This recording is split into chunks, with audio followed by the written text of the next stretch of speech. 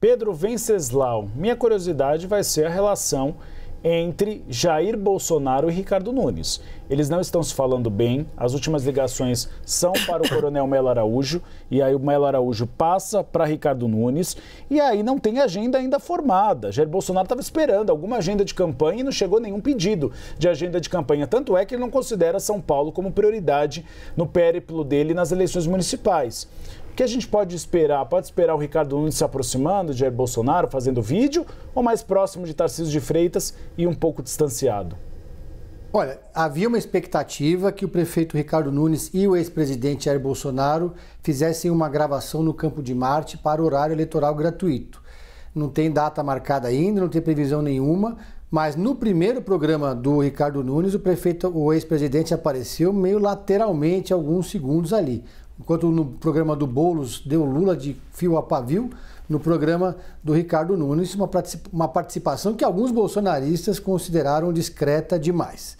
Uh, o debate da TV Gazeta foi e do My News marcou um pouco ali uma mudança de postura do prefeito, mais agressivo, atacando Pablo Marçal, a quem chamou de tchutchuca do PCC, mas ele ainda não abraçou agendas bolsonaristas.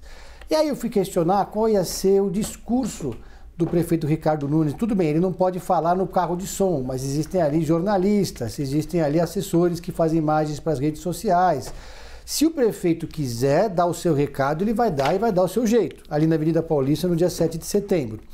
E o que a resposta que chegou foi a seguinte: não é papel do prefeito pedir impeachment de ministro do STF. Então teremos um prefeito com uma posição mais moderada. E esse é o dilema. Porque para fidelizar o eleitor bolsonarista, que está migrando em peso para Pablo Marçal, segundo as pesquisas mais recentes, ele teria que fazer uma adaptação de narrativa, que ainda não aconteceu. Porque se ele faz essa adaptação e erra na, do, na dosimetria do discurso, ele acaba atraindo junto uma rejeição que pode ser muito grande e pode acabar prejudicando mais do que ajudando.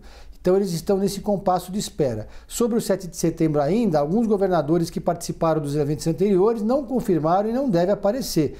É o caso, por exemplo, de Romeu Zema. É, Cláudio Castro, do Rio de Janeiro, ainda não disse nem sim nem não, muito pelo contrário. E Jorginho Melo também ainda não respondeu. Tarcísio foi o único até agora que garantiu presença nesse evento.